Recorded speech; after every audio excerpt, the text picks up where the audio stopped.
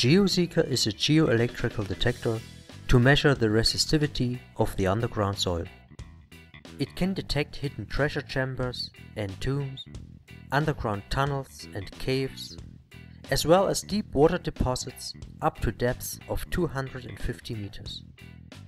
The GeoSeeker's hardware components are controlled by an Android tablet PC. All data is transferred by Wi-Fi. Setting up a new measurement and laying out the cables is very easy by just following simple pictured step-by-step -step instructions according to the tablet's application. The instructions are also showing where the electrodes have to be placed into the ground.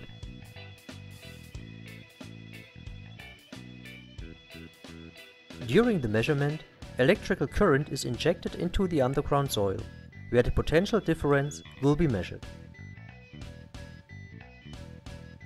After finishing the measurement, the soil's resistivity is calculated and a graphical 3D representation of underground anomalies is displayed on the screen of the tablet PC.